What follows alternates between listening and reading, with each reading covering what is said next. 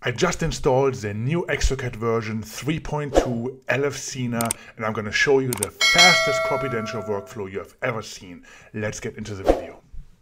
In the order form, we're going to select one tooth and then click on full denture. If you don't have the full denture module, get it. It's really important for this workflow. We can decide if we want to mill the base or print it. In this case, I'm going to print it. I don't have a bite rim, but click on yes for copy denture and the 360 denture module will come up. In this case, I'm going to have an upper and a lower arch. I'm going to do a copy denture, select the shade, it's A1 for the teeth.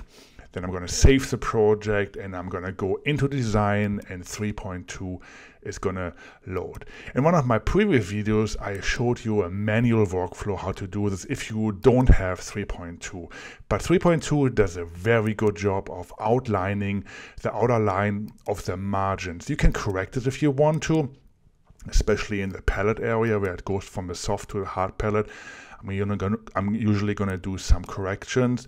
In the lower, where the frenums are, usually you have to do some corrections, but this is really exciting. Very, very fast. Just click on the tooth and every tooth is getting selected automatically. Click next. I'm going to do the same thing for the lower. Just click on one tooth and then one tooth each. And I like the color map actually, what Exocad did here. That looks really, really good. You can modify the teeth. You can modify the occlusion if you want to go to free and adapt you can adapt the occlusion if you have some high occlusion you can move teeth around you can smooth everything out like you can do in the regular denture module then we're going to create the bottom for the upper and lower arch.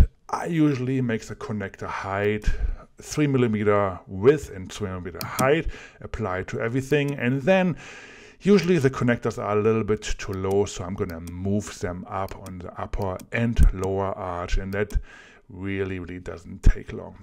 Just a quick look. If everything looks good, click next. And here we already in the tissue design, we can smooth it out or add a little bit material that comes usually if you finish a denture you thin it out usually but it copies the existing tissue exactly. If you want to add some more characteristics you can do this here like i showed in my previous videos. You can enhance the root structure here. Then i go next and then Exocad separating the teeth from the base. I usually don't change anything in the parameters unless I'm going to mill the base. Then I'm going to click one bottom here, and include milling. Going to do this for the upper and lower. Goes really fast. And Exocad separated the base and the teeth, which I can mill or print. I can mill the teeth, I can print the teeth. Usually I'm milling the teeth and printing the base. Looks very, very nice with an Asiga printer or with a Hagas printer. It doesn't really matter.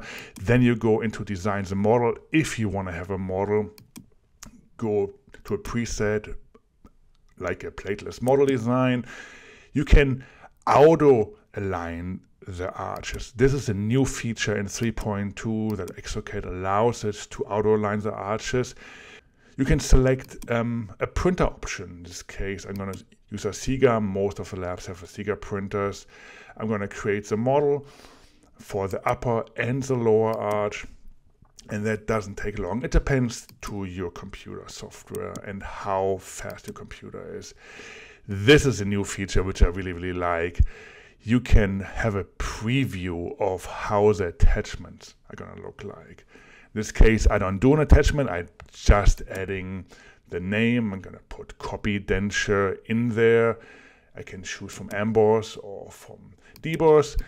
Put the copy denture text on there, on the upper and lower. Click next, and then the denture is finished. And the model is finished too. I can print everything very exciting workflow, very fast. I've never seen such a fast copy